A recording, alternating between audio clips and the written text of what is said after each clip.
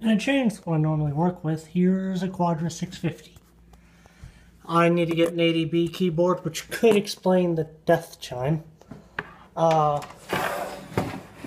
and a video adapter. I have a monitor, I don't have a cable for it.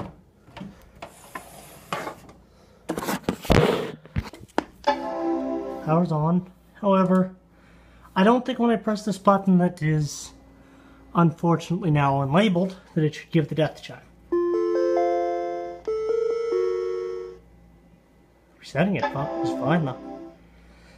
I also don't hear the loud uh, Seagate or Quantum, I think. It's some loud SCSI drive in this time period. That sounds more like a fan to me. This uh, 2CX. Yeah, Mac 2CX uh, just doesn't power on. Probably power supply fault, but this I can't debug. Thankfully the CD drive works. And the speaker. So, that's good I guess. Um, yeah,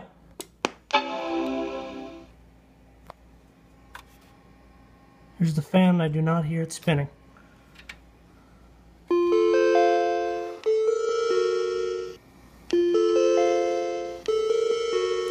That switch used to be stuck.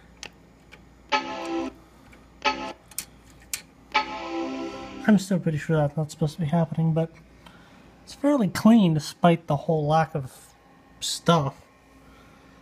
I don't know if the floppy drive works. I don't hear it seek on startup.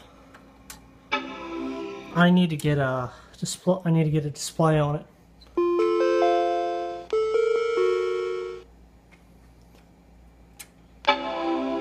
Oh wait.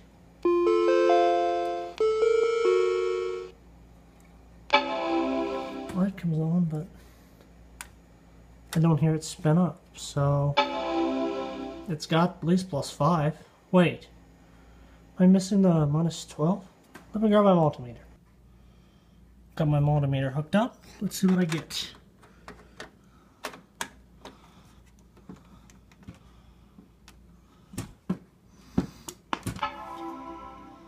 I connected the probes wrong, but I got plus 12. So that's not the problem. Well, I should have known I had plus 12. The CD tray managed to eject.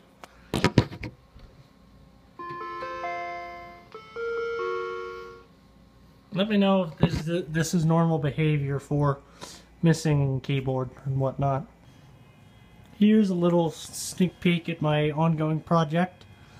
I've got a bunch of server racks to move down here and get all the equipment into. So far I've only got uh, Cisco 3750 uh, 48 power, yes PoE, switch uh, connected via single mode for gig up to a switch that was previously broken and uh, 40 port Xyplex terminal server. I've got to get the right cables for that. 1841 has no real purpose but I have it I'm waiting on a 6503 and another 7200 that I can toss in HSRP for my lab and here's some random mid-90s power distribution box that I don't know if it fuses Runs cool though. I don't know if it fuses or filters. I'll need to open this other one I have up.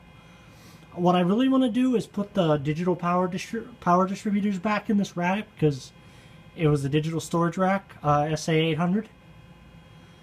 But I didn't want to wire up a new jack just to plug this in for testing temporarily.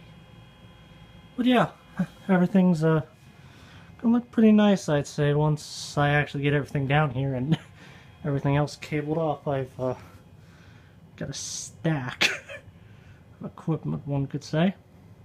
Anyway, let you do it for now.